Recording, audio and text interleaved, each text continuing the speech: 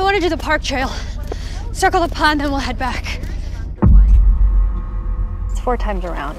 We'll see. Why did you even come out this morning? Because what other quality time do we have together, dear? Uh, great. If we're just going around in circles, why don't you try to lap me? Not a problem!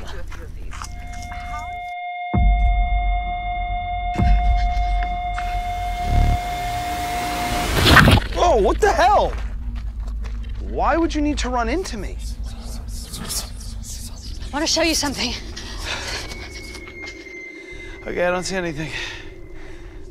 There's the sign. Yeah? Where's the trail?